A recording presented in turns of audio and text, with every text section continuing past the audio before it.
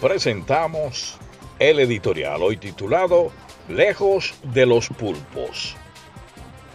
El gobierno que encabeza Luis Abinader ha anunciado esta semana dos proyectos importantes con los que seguro se reactivará la economía, ya que como se sabe el sector de la construcción es uno de los pilares del desarrollo. El primer proyecto anunciado fue la construcción de 2.109 parqueos fundamentalmente en Santo Domingo y Santiago.